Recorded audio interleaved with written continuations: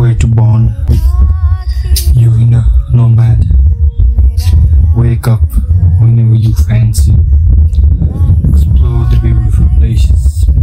Challenge yourself.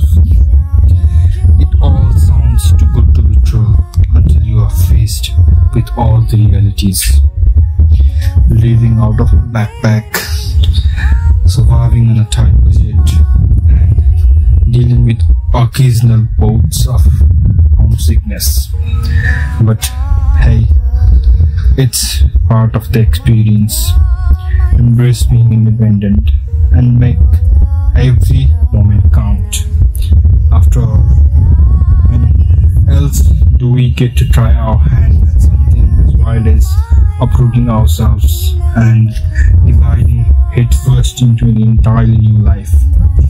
Believe me, when I say once you come back home, if ever, you will be glad that you chose to step out of your comfort zone once in a while.